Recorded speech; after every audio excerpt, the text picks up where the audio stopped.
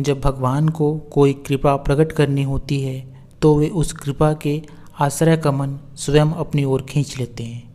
जो लोग यह कहते हैं कि केवल भगवान का स्मरण करने से स्थूल प्रकृति में कैसे परिवर्तन हो जाएगा, वे यह नहीं जानते कि परिवर्तन की क्रिया तो बहुत पहले से ही प्रारंभ हो चुकी रहती है।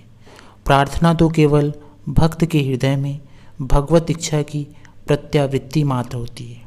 जब कभी विपत्ति काल में भगवान की अनुकंपा प्राप्त करने की अभिलाषा उत्पन्न होती है, तब जान लेना चाहिए कि भगवान की ओर से विपत्ति निवारण की योजना बन रही है।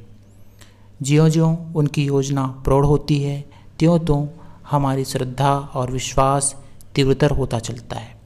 अतः विपत्ति निवारण हमारी प्रार्थना का फल नहीं होता, बल्कि हमारी प्रार्थना ही सफलता का चिन्ह होती है।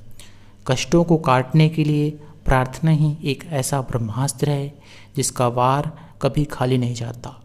हृदय से उठी सच्ची विश्वास युक्त प्रार्थना में सब कुछ प्राप्त करा देने की विलक्षण शक्ति है।